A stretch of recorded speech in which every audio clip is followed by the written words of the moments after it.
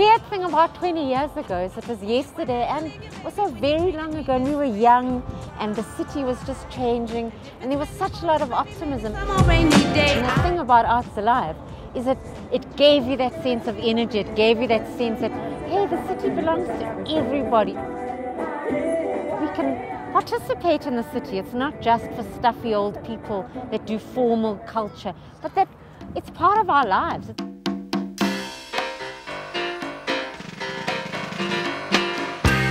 I mean, 20 years ago, I was on holiday in Joburg. I didn't even live here at the time. And the, the, level, the energy levels were insane. I'd never experienced anything like it. And I just knew I wanted to, at one point, live in this city. I wanted to be a part of that. Right here and right now, there's something so special that's happening in this city. It was a time when, you know, South Africa had come out of political, cultural isolation. So there was an excitement, you know, um, embracing the arts, looking at what was exciting within the African continent, the African diaspora.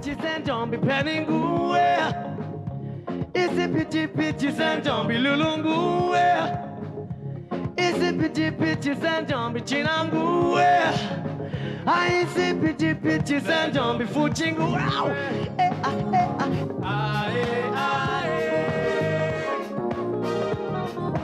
aye. Arts and culture performed an extraordinary role during the apartheid South Africa.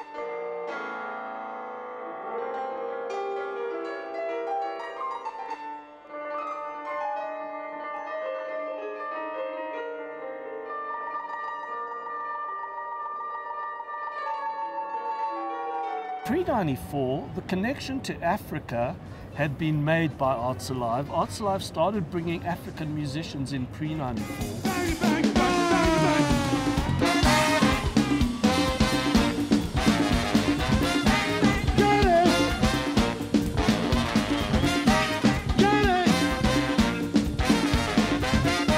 We had the Johannesburg Biennale pre-94 with artists from the continent and the world coming to celebrate our diversity.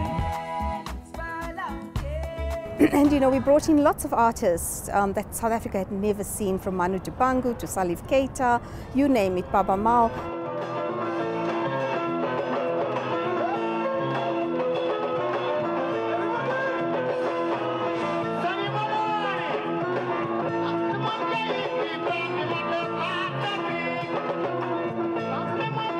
And wonderful collaborations, you know, doing lots of performance arts, street theatre, working with groups from Holland, from France, shadow puppets from West Africa, and it was a great moment. I think the thing that uh, got me when I was a little guy, um, and uh, it was before 1994 when Arts Alive was, was going, is that Arts Alive did bring a very strong African element to, uh, to uh, Johannesburg, and it all used to happen at Sibona.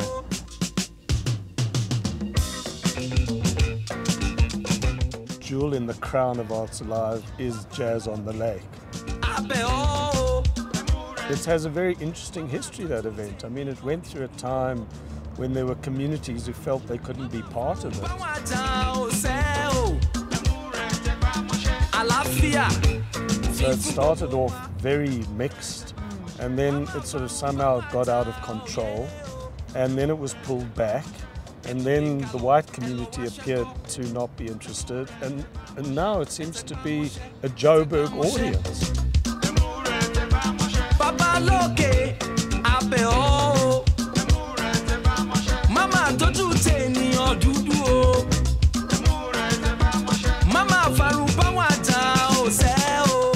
Well, um, the, the first thing is, is Alive will always for me be attached, I mean it's now 22 years, attached to Joburg.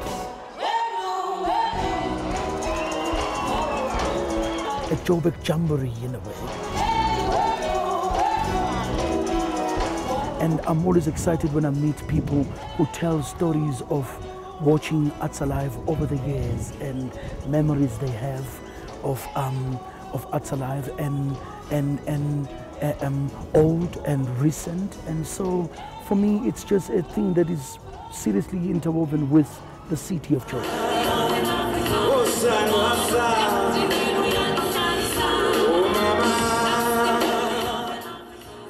One of the more fascinating things about it is the audience development aspect, how different people start coming to different things.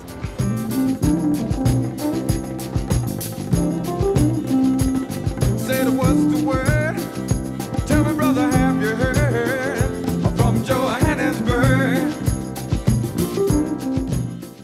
Lot of unexpected faces at certain performances, um, installations, and that's always very rewarding also, that your message has gotten out there and touched people who normally would never come to such a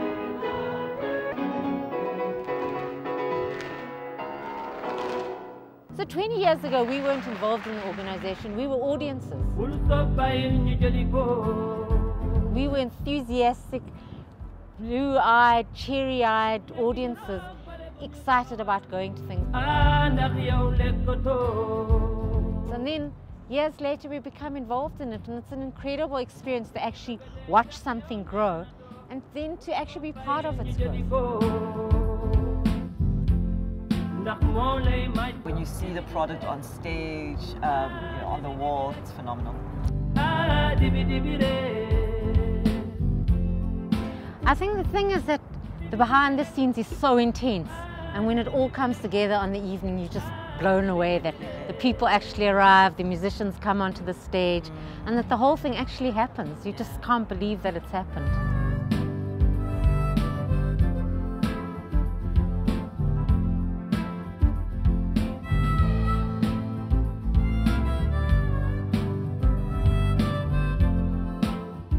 It's like the alchemy of the arts alive, you know, um, animal beast is literally a mixture of crazy personalities and it's energies from all over the world. And we're just trying to translate that to a Joburg audience. You ready? It's going to be phenomenal. It's always phenomenal. As you know, you come out and you see these artists, you have no idea who they are, but by the time you've left, you're in love. I know when I go and listen to the spoken word and people speak along, they know the words of the poets, they know the people, they interact with it, and you think, wow, it's really worth it. It's just an incredible experience. All the time, you know you're creating something, and you know that, as we said earlier, when you come and you sit down in that audience and the show goes on, just all the heartache is worth it. We choose venues across the city. It's all about access.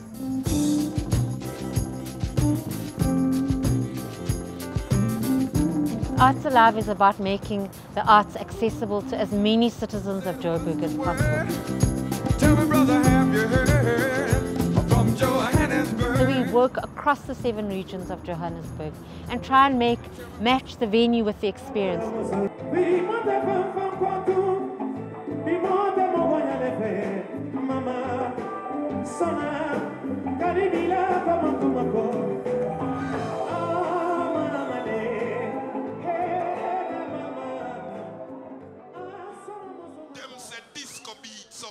Sweet.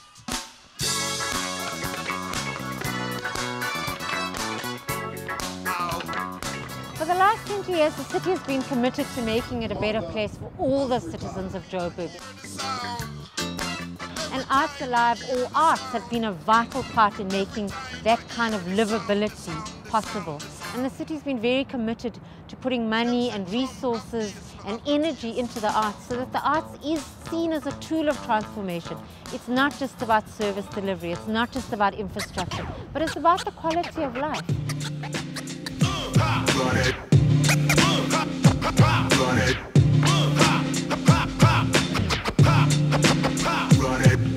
Goodbye.